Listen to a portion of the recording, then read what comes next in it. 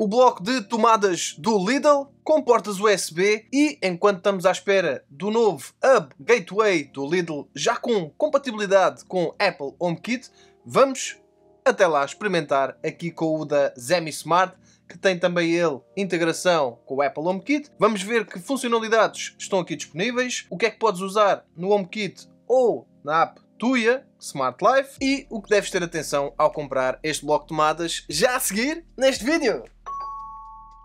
Juventude! Como é que é? Tudo bem? Eu sou o Ortiz, este é o canal Jomotech. Para este vídeo, mais um produto Lidl Smart Home. Temos então o bloco de tomadas ou tripla com USB. Há quem chame extensão tripla, bloco, régua, o que seja, e temos também aqui quatro entradas USB. Em termos de características, isto é um produto que integra no ecossistema Tuya ou Smart Life. Atenção, não instales a aplicação do Lidl, porque basicamente é uma cópia da Tuya ou Smart Life. Só que ficas limitado, mais uma vez, a equipamentos só do Lidl.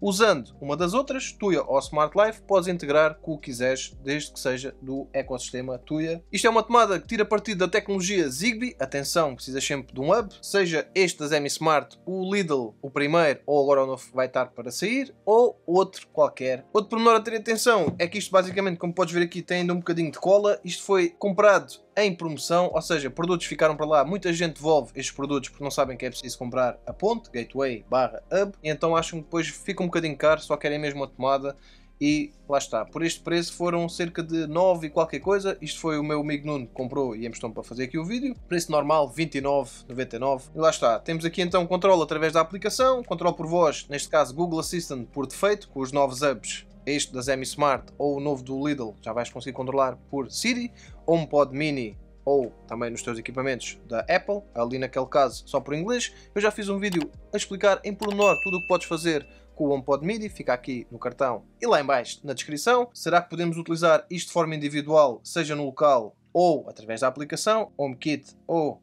até mesmo da tua Smart Live. Smart Fast Charge dirige para as portas USB para carregar o teu smartphone. Depois notificação de estado ligado ou desligado com indicação através de LEDs. Proteção de subcorrente ou de picos de corrente. Botão para ligação em rede de ligar e desligar manual. Isto é o botão também para serve para fazer o emparelhamento. O USB-A tem 5 volts 2.4 amperes e o bloco de 3 tomadas suporta até 3840 watts. Ou seja, consegues usar aqui qualquer equipamento. Não fazia sentido ser de 10 amperes porque lá está, se é uma tripla, convém ter alguma capacidade.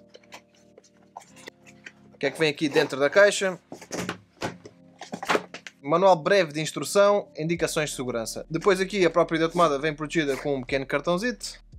Temos aqui as quatro portas USB-A e as três tomadas em bloco. Botão de ligar ou desligar. Agora ligar aqui a outra tomada para estar aqui mais à mão. Por defeito está desligada. O emparelhamento eu já fiz. Vamos já ver que opções é que estão disponíveis. Ao carregar uma vez, ligam todas. A carregar outra, desligam. Para emparelhar é ficar a carregar aqui 5 segundos. Outros produtos que eu também já mostrei. Sensor de movimento. Fica o vídeo também aqui em cima no cartão e lá em baixo na descrição. A tomada. A tomada que é apenas só uma. Isto basicamente é a extensão. E também o sensor de porta e janela. Agora aqui na aplicação Smart Live Tomada múltipla, o que é que temos aqui disponível? Basicamente, o botão cá em cima é a representação gráfica toda da tomada, liga tudo. Depois consegues controlar individualmente cada uma destas três, através aqui do botão ou também por comandos de voz. Depois tens aqui também a questão de agendar, botão 1, 2 ou 3, consegues aqui criar agendas para ligar a determinadas horas, podes também receber a notificação que isto foi ligado. Depois Countdown é basicamente um sleeper ou um temporizador para desligar ao fim de X tempo. Não tens disponível aqui diretamente para a Amazon Alexa, talvez ali com o Echo 4, vamos já ver, mas tens Google Assistant e também a questão do HomeKit, se utilizares um hub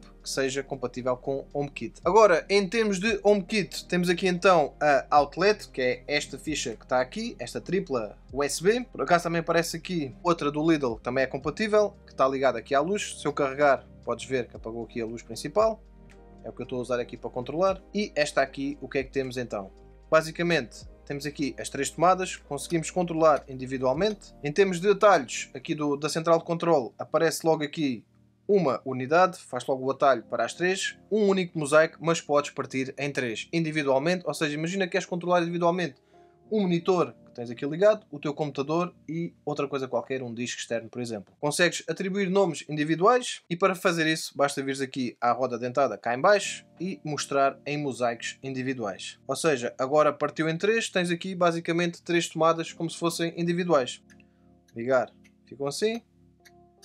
Ao desligar as três já sabes que ele vai apagar este está aqui que está tudo ligado. Agora vou usar aqui as luzes do Legrow, que basicamente é um canteiro que podes ter na tua mesa. Só pode estar aqui a questão do, da alimentação das portas USB. Está ligado, ao carregares, o que é que acontece? Basicamente nada. Isto portas USB-A estão sempre a ser alimentadas. Vantagens do HomeKit é que podes usar com produtos que não são propriamente integrados com a aplicação Smart Live, seja aqui por exemplo aqui o botão, o interruptor sem fios do, da Philips Hue, ou até mesmo outro produto que seja aqui integrado, este de 4 botões, também consegues usar para controlar remotamente sem ser através da aplicação ou por comandos de voz, aqui cada uma das tomadas. Agora, colocar aqui em modo de emparelhamento é ficar basicamente a carregar, como eu tinha dito, isto deve começar a pescar, como podes ver aqui é a cor laranja, e vamos agora ver se encontrar ali dispositivos no Echo 4. Alexa, procurar dispositivos. Encontrou o segundo plug. Alexa, ligue o segundo plug. E aqui através do Echo 4 apenas vai ficar disponível aqui uma tomada, não aparece aqui mais nenhuma opção. HomeKit impecável, ou também na aplicação Tuya ou Smart Life para a Alexa através do Echo 4. Basicamente tens uma tomada disponível, acho que não tens aqui grande acréscimo. Vídeo sobre o novo Hub Gateway do Lidl fica aqui. Sobre o sensor de movimento aqui em cima, não te esqueças de subscrever. Saúde e um grande abraço!